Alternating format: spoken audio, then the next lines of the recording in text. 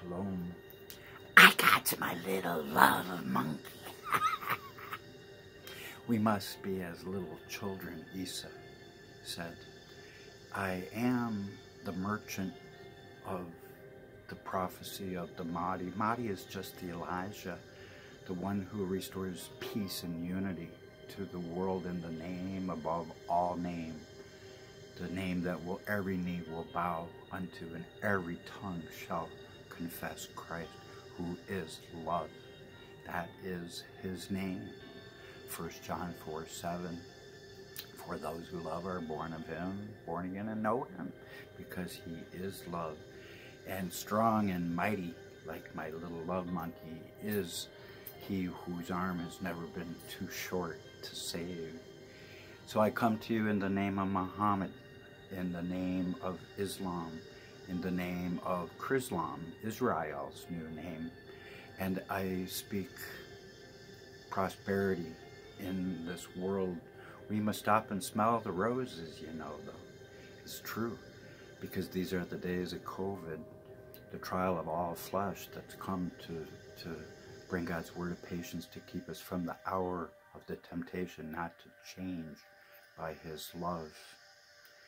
And that is the same prophecy of Daniel 12, a, a time of distress throughout the world, as it was even before there was a, a time before all nations started. There's never been a problem like COVID. And the greatest disease is not COVID, it's loneliness. That's killing a lot more of us than probably the disease itself. So we need to light a candle of hope. And it is found within the living word of our good shepherd over all the flocks of man. So it's time to light a candle of friendship and peace between Muslims and Christians more than ever, and between Christians and all peoples of the world, so that we will stop pointing fingers at people because they're getting cut off.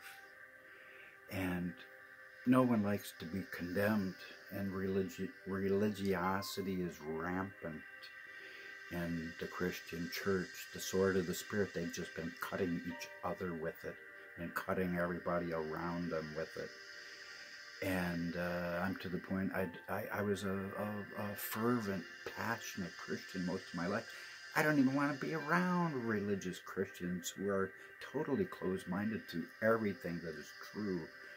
And uh, many years, I'm going to tell you the honest truth, I never would have looked at the Quran. Never, ever, ever, ever. And I was that, uh, I had a brick wall in my brain. And finally, when I looked at his praises, I could not deny that was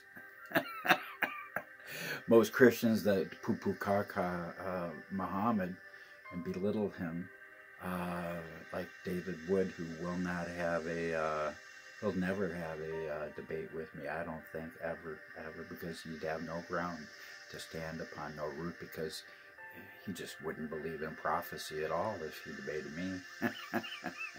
David Wood, I am the Mahdi, and I exalt the treasure of excellence that is Islam.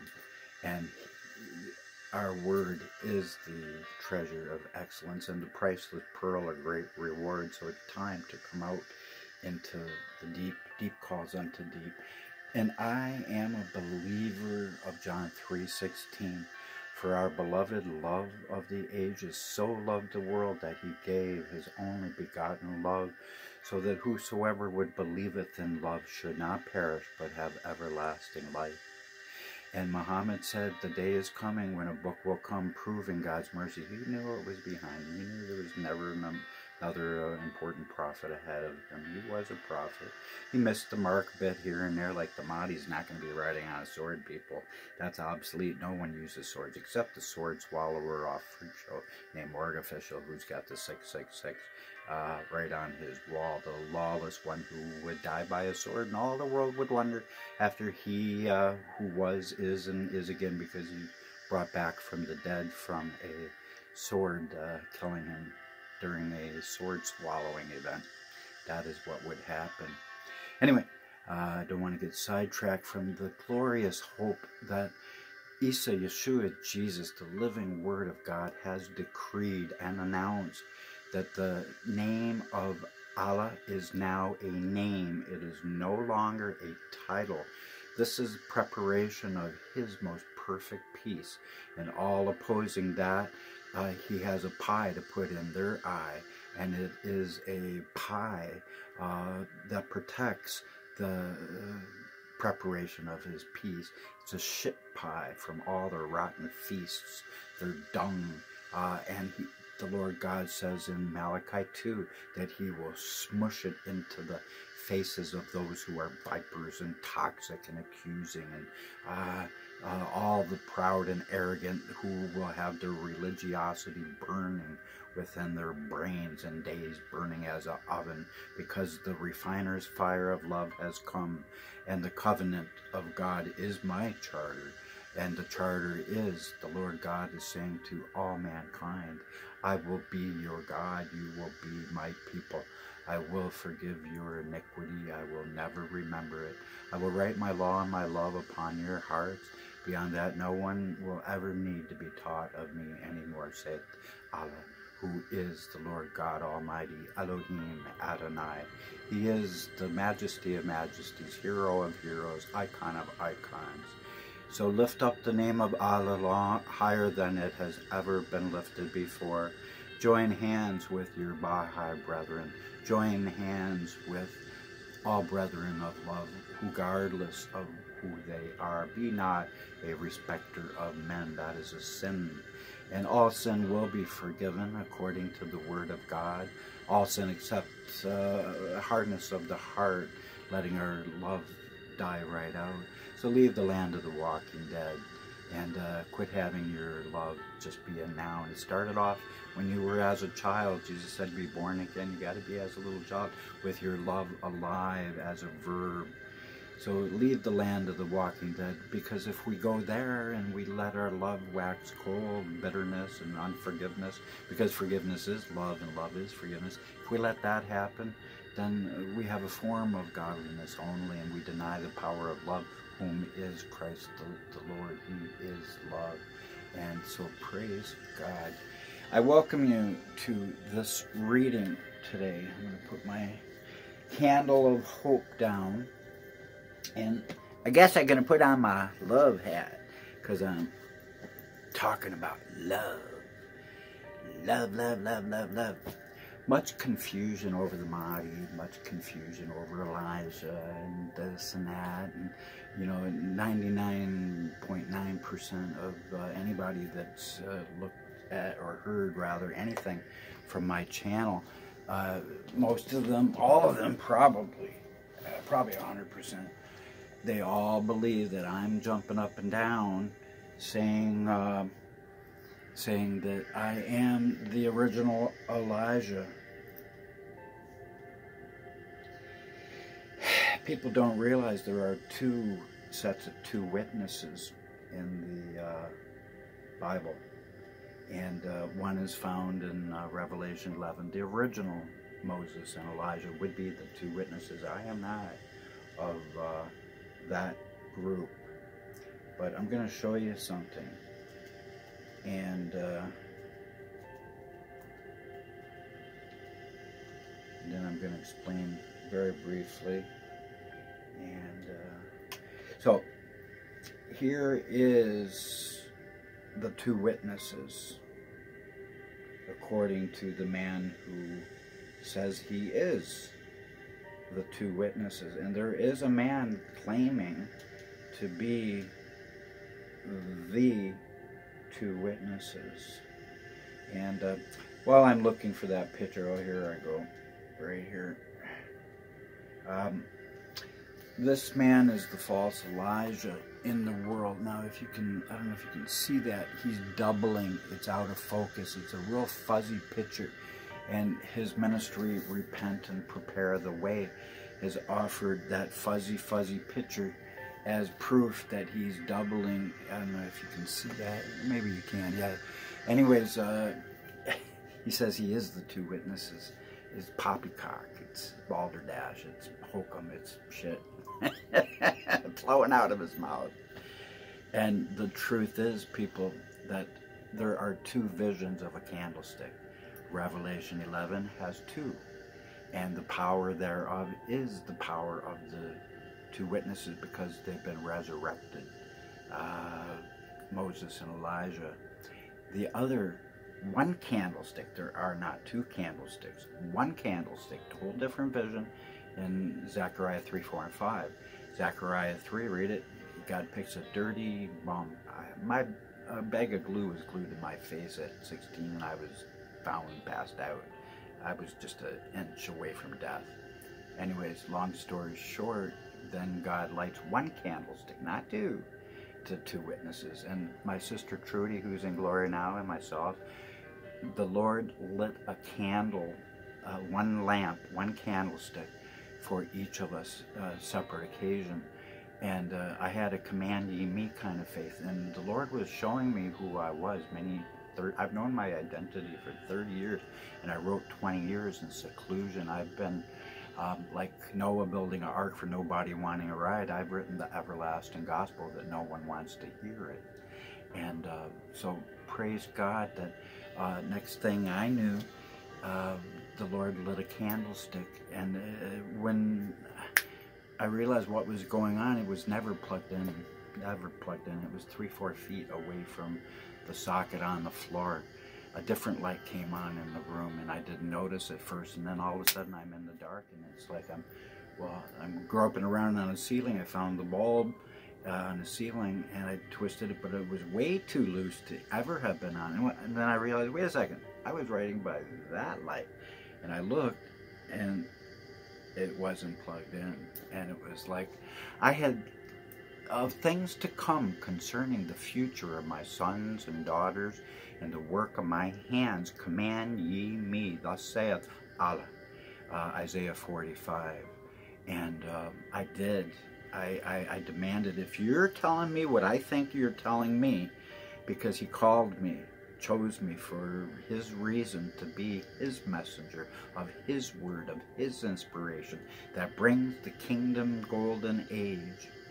And so uh, I had that command ye me kind of faith. And I had told him, if you want me to do anything what I think you're saying, I want the fleece wet and the ground dry. I want the ground dry and the fleece wet. Miracle of Gideon. And I demanded it had to be something that drastic. And my sister had been in the same kind of mental state. She was angry and I was angry and uh, angry at God. And uh, so I, I was using scripture uh, against him and uh, passionately.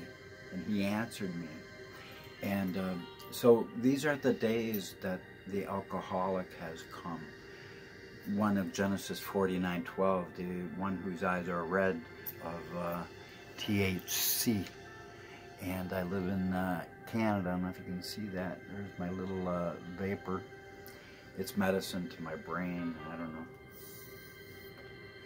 My soul is not upright, but the just shall live by my faith. Habakkuk 2.2. The vision of God was written for the appointed time at the end and he told the people, It shall surely come. You will behold his soul that is not upright, but the just shall live by his faith. Even though he's been transgressed by wine and his soul hasn't been upright, because he shall be as hell and can as greedy thereof, never being able to be satisfied uh, because of uh, embracing all people of the earth unto himself for the good shepherd over all the flocks of man, the unification of the body of Christ, which is composed of people from all religions or none, all those who have their love light on, because those who love are born again of God and know him because God is love. 1 John 4, 7. And where did my little glasses go? Oh, right here. So welcome to, uh, I'm going to make this quick. The video is getting a little too long here. And I am honored, most honored, to have in my hands uh, a, a Bible that my mother had, God rest her soul. Uh, she's got her name on the top there, Lois Carter. And uh, so today I'm doing a real brief reading of Mahdi prophecy found in the book of Isaiah 28. And now I, I'm going to tell you briefly, uh, 30 years ago, about 30 years ago, wow, long time back, um, a prophet of the Lord got a hold of me and he told me, he took me to a Bible and he says, here you are written in the Bible in Isaiah 49. I had sold credit cards for uh, about, well, quite a while and I was a fast talker. And uh, so uh, I became even a faster talker because I represented credit cards. I interviewed people. Uh, I walked up to a million people. And so I recognized something that did fit myself, having a sharp tongue, being the arrow of God hidden in his quiver for Christ to go forth as the white horseman of Revelation 6 to conquer the other evil black, black pale, and red speckled horses. Anyway, um, bottom line is I recognized myself in this prophecy, so it kind of caught my eye and it had me pretty interested. I didn't fully believe what he was saying, not literally, but the Lord started giving me open-eyed visions, and so he made a believer of me quick because the Lord breathed upon me. Uh, that is why I've got the largest YouTube channel out there because uh, 6,800 videos right now as of uh, early February 22. And uh, I'm building the latter-day mountain of Isaiah 2 and Micah 4, the latter-day mountain of Isaiah 25, the mountain of spiritual food. And so it came to pass that prophecy was given unto um, Isaiah. And I better look it up here. Talking too much. And uh, know that there has been a lot of confusion. But if you read Isaiah 49, it predicts that the Elijah task servant would do everything in vain. And everything I've done has been in vain. All my books that I wrote, all my videos that I've produced are of no importance because no one is watching them. Everyone is rejecting them. Uh, and Islam will probably reject them too. Uh, they're not supposed to. Uh, Muhammad said, you have no ground to stand upon unless you stand upon the law, the gospel, and all of revelation coming unto you from the Lord God. And I am he who comes forth with meat. Christ asked the riddle, who will come and feed the master's household meat while the master is away? Well, my name is Daniel, the latter-day Daniel of Daniel 12:13. I have arisen to embrace my destiny as Elijah. I am Shiloh. I am the Mahdi. I am the end-time revelator, line by line, precept by precept, to be as a destroying storm a destroying storm because I have the appointment of Jeremiah 110 and Haggai 2.2 says the same thing that the Lord God in this hour he wants to tear down all kingdoms of man's imaginations uh, not built solely upon his unconditional loving mercy and his unconditional love that is revealed for one and all of us. There has been a veil across history and across the world and across the, the religious books and now the veil has been lifted and we can see clearly now that we've been worshiping books that we have not even understood the true message of. Because it is only found in the kingdom age glorious charter of the kingdom age covenant the everlasting covenant of uh, Jeremiah 31 33 to 35 and for that reason Israel was given a new name Isaiah 62 2 promised that they would receive a new name in the days when they inherited all mankind, Isaiah 54 3. And their name is Chrislam now. And uh, they are Israel. So uh, I'm going to read this here. Behold, the Lord has a mighty and strong one, which is as a tempest of hail, and is as a destroying storm. He is as a flood of mighty waters overflowing, and uh, overflowing the waters shall be cast down to earth with the hand. And the waters are living waters of our living God, Elohim Adonai. Allah is his new name. It used to be just a title, but our Prince of Peace has declared he has adopted and sanctified and justified that name to bring peace within the world. A name is just a name. A rose smells just as sweet by any other name. But uh, I am that destroying storm and uh, so know that the glorious beauty which is on the head of the fat valley shall be as a fading flower, and as the hasty fruit before the summer, which when he looks upon it, uh, he sees it while it's in his hand, he eats it up. Um, not procrastinating, uh, dining on good food instead of something that would perish. The Lord said, uh, if people will not lift up that which exalts his name of love, hope, peace, and faith for the kingdom age of the brotherhood of man, then he said in Malachi 2, he'll get a, a, a pie of dung from our rotten feasts and put, push it in faces.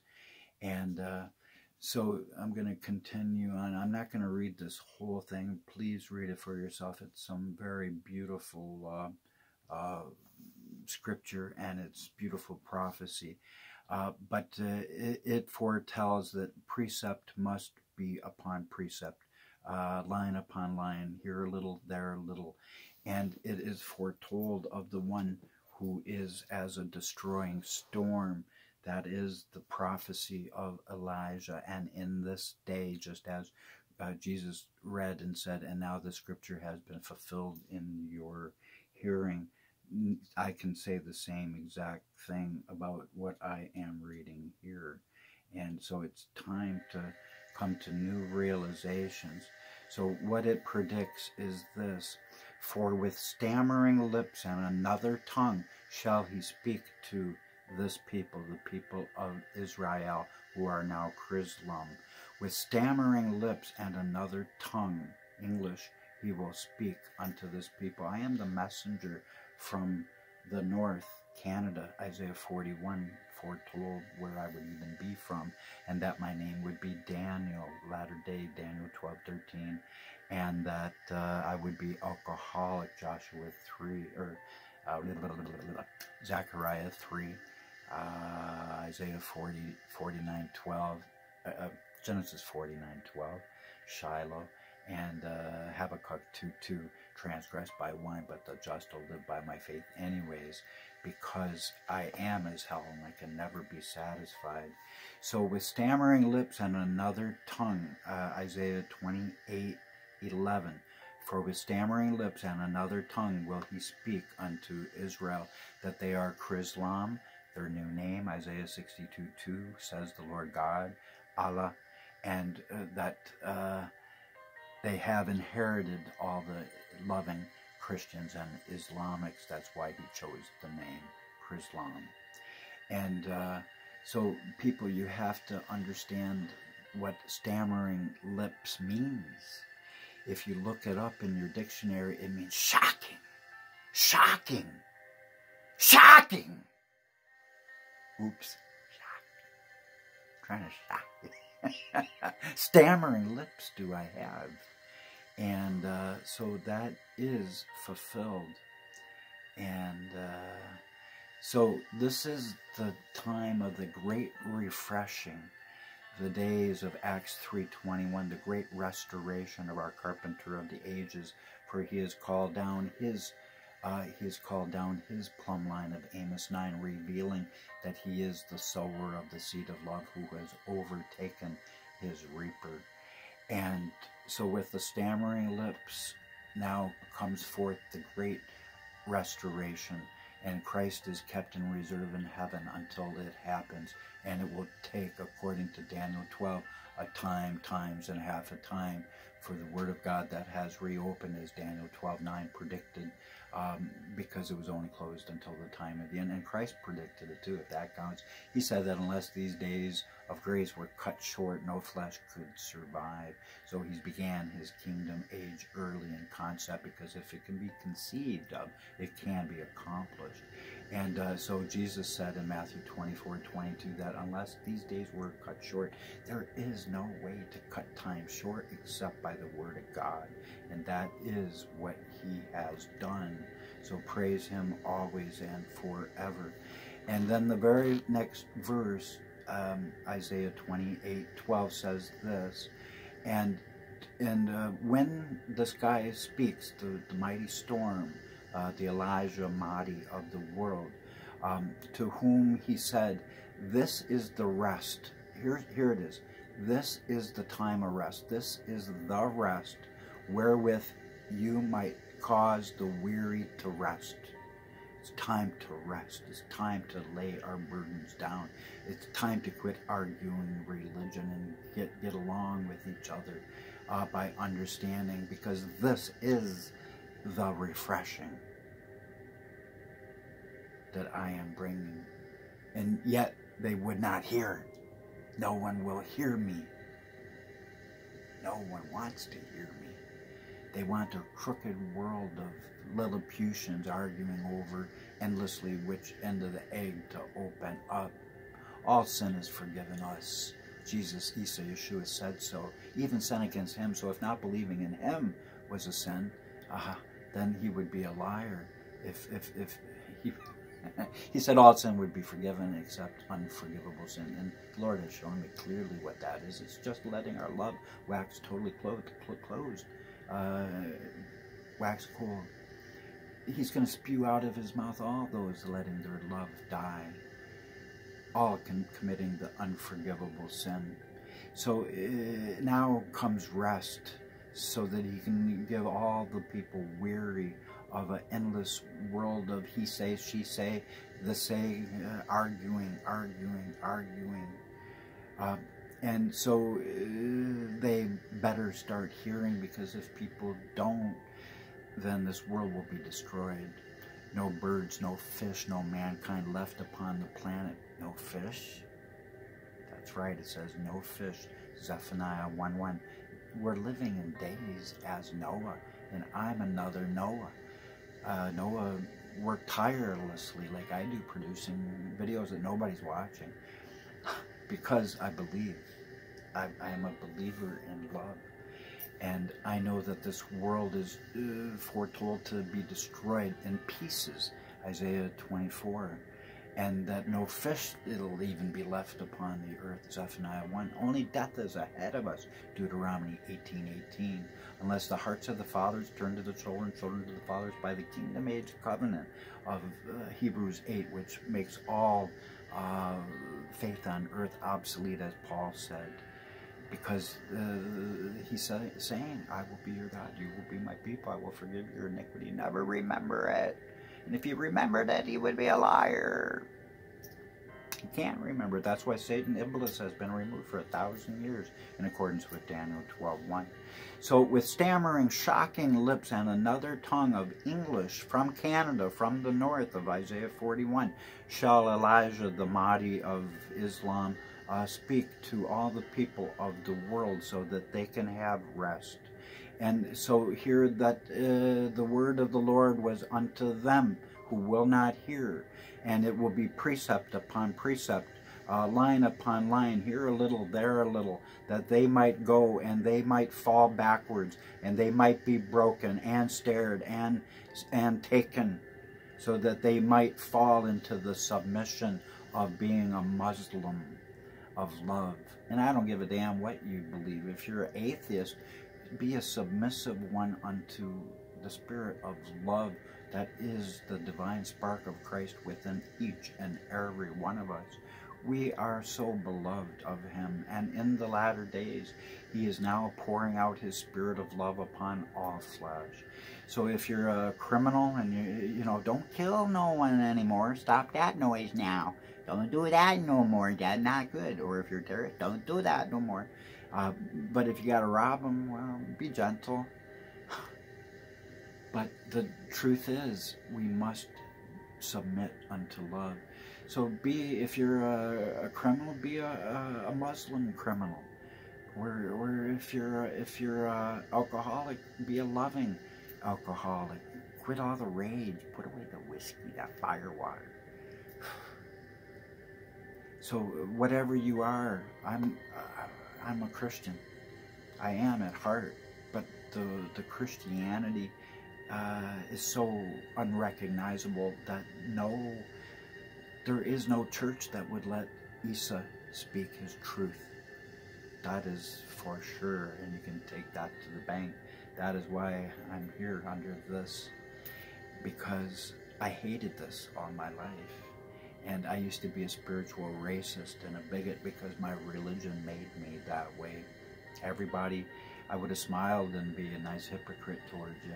But if I knew you did not believe, I, I'd just have an immediately low opinion of you because you're stupid. You're going to go to hell and burn forever and ever because my God is a God of love. And if you don't love him, he's going to burn you forever and ever and ever and ever. He's a God of love.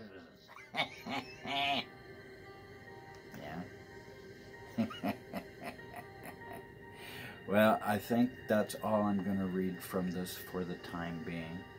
But uh, now is that manifested within your hearing Islam.